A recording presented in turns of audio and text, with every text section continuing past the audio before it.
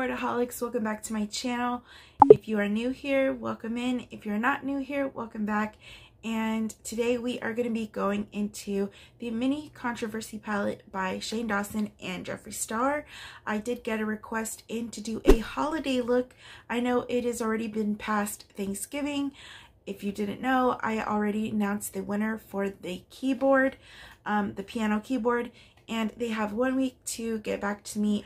I'm also going to be going into, I want to do Vlogmas, but we'll see. It's going to be pretty, pretty hectic at my job, my regular job, and then also here. So I just want you to guys to know that I may be doing Vlogmas and that would be uploaded every day um, or I may not do Vlogmas. It just all depends. Let me know in the comments down below if you will be doing Vlogmas or if you want me to do Vlogmas. Um, I would be happy to contribute as well. So my channel is all about affordability and we are not only going to be doing a holiday look, but we're also going to go into the specifics of this palette. My my goal here is to let you guys in on if this palette is affordable, if it's worth the money, if it's worth the money getting the, you know, the other mini controversy palette that's coming out and whatnot. So let's go ahead and create a look with the mini controversy palette and then we're going to go into our review. Okay, so I already did one side and I'll show you guys how I did this side.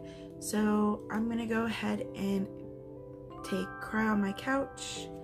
And this is basically what I would use as a brow bone. Um, like to matte or an all over shadow, which is really good. It doesn't really, like, um, it's not very, very pigmented, which is okay, because it's good for blending and um, such like that. But as you can tell, like, it's not stark white just kind of like a cream color. Next, taking this um, crease brush. This is the crease brush from Wet n Wild. I'm going into, of course, um, Diet Root Beer. As you can see, I use that Diet Root Beer a whole lot because it's really my favorite um, crease shade. I am darker complected, so it's a really good shade for me.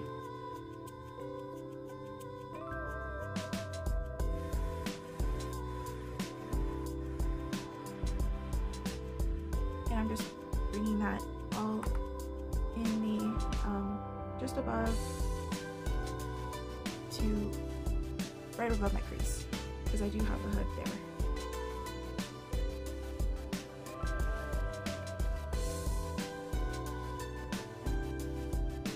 So far it's easy to blend, so that's good. It's very pigmented and easy to blend, which is really nice. Next, I'm going to be going into my apologies or my apology. And I'm gonna start here. And I'm gonna follow right underneath where I put the crease.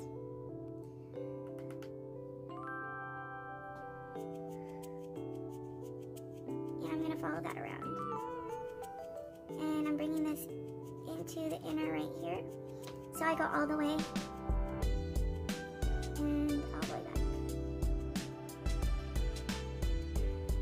and then taking this with no additional, I'm just gonna blend it out because we don't want any harsh lines.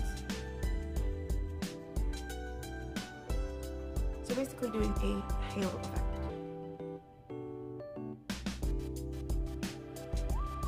Brush like this and going right into my, my boyfriend's purse all over the middle. I'm leaving this open.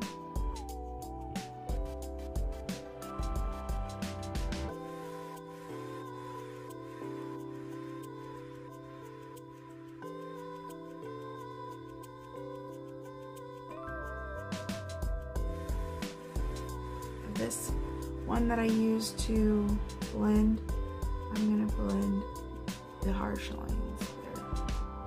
I'm to blend the harsh lines around as well.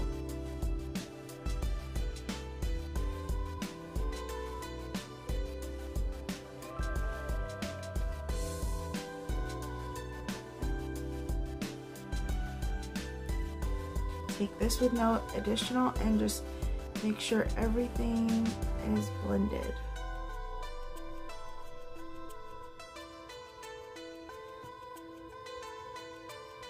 Okay, next I'm going to take my skinny tip eyeliner, this one right here, by, um, I believe is Wet Mild. I need to buy me a new one.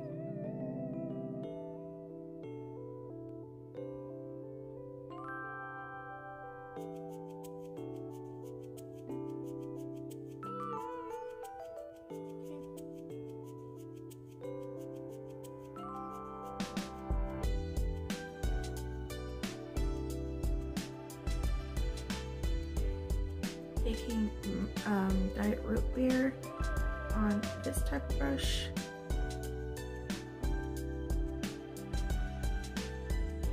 And running it underneath there, just giving it a little bit of definition.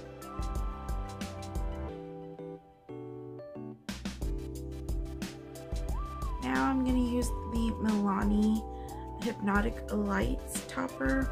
This is a holographic eye topper, but I'm just gonna do it in the inner corners.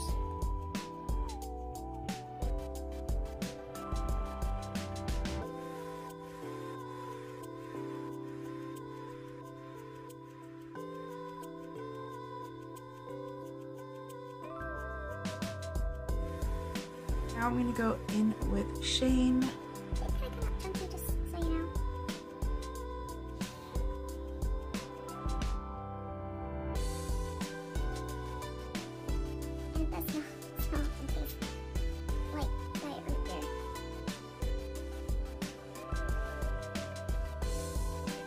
This is the finished look with the mini controversy palette.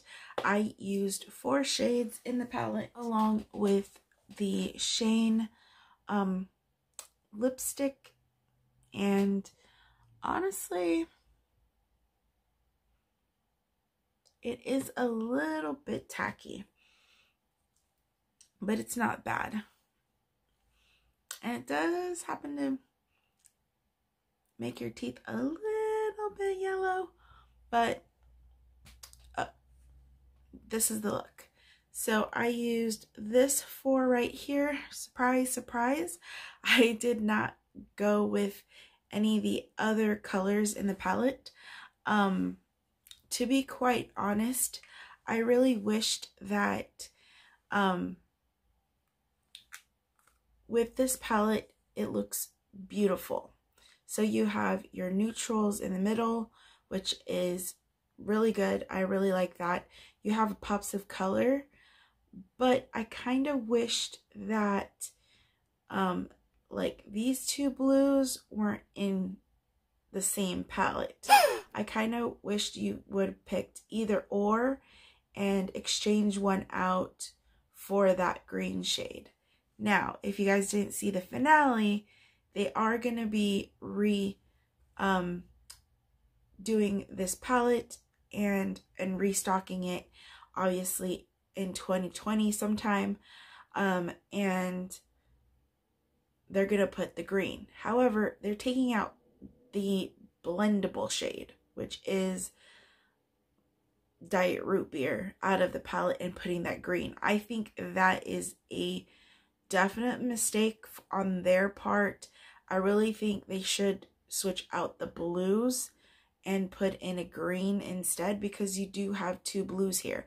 I know you have a pink and a darker pink um, as well, so you could switch out either or those.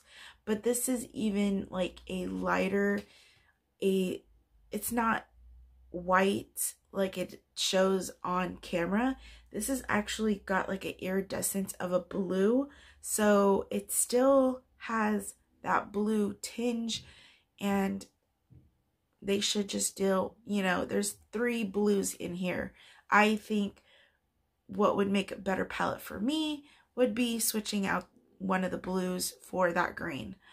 Now, for this palette itself, it retails for I believe $28 is what I paid for it. I, I will definitely, definitely, definitely double check on the website. Um, but this small, small palette is $28. So it is a more affordable price than the big conspiracy palette.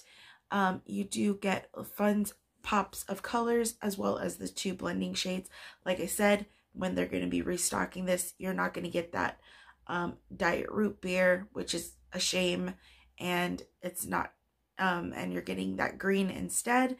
So people that already have this palette may not want that palette. I watched Yessie Gonzalez and she actually is not going to be purchasing the restock of the mini controversy palette because it is just one shade that they changed. It's not like the whole palette has changed. It's only just for that one color. So with that said, I don't think I'm going to be getting the um, mini controversy palette um, as well when they restock it unless you guys really want me to review it. Um, now the shadow size on the on the palette is really really good. You get a good size mirror. This is really travel friendly and kind of lightweight. It does have some weight to it, but it is a little bit light lighter weight to travel with. Um, you can do a holiday look with this. You can do a New Year's look with this. Um, you could do a birthday look with this. But, I mean, for me, blues are pretty, but they don't really excite me that much. But I just wanted to get my hands on an affordable palette. Conspiracy palette was a little bit out of my budget and also um, it was out of stock when I tried to purchase it. So with that being said, the packaging is really nice. They thought of every single detail. Um, the outside of this is really cool. It's something that I don't really personally have in my collection. Um, I believe a lot of um, people don't have this type of packaging on any of their, you know, makeup because they just took a different route with it. A lot of influencers have like a girly vibe. Um, they definitely have that glam vibe. Um, and some of them have like that minimalistic vibe. So um, I do have other YouTuber uh, palettes as well that went the more affordable route and we can dive into those as well. But as far as my holiday palette or holiday look goes, this is what I came up with. If you want to splurge on items like this that are kind of like movie-esque or like one-time limited edition items, then definitely go ahead and splurge. But if you want to save your money and buy something that you'll actually use day in, day out, definitely do that too. I just give um, the mini controversy palette a thumbs up and it is affordable in my book. Um, $28 for a travel friendly palette. Big pans, pigmentation is there, blendability is there. Just some of the shades could have been rearranged better, um, just in my opinion. And that's about it. So I hope you guys like this video and comment down below if you got the controversy palette and if you created a look, let me know. And you want me to review any other um, palettes that you see out there or any holiday collections, definitely let me know in the comments down below. I would love to know. And like always, stay affordable.